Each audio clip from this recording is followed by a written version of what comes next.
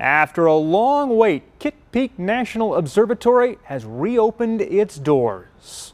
That's following a more than three-year closure due to the pandemic and the Contreras fire burning nearly 30,000 acres a year ago June. Visitors are now able to book guided tours on Fridays, Saturdays, and Sundays.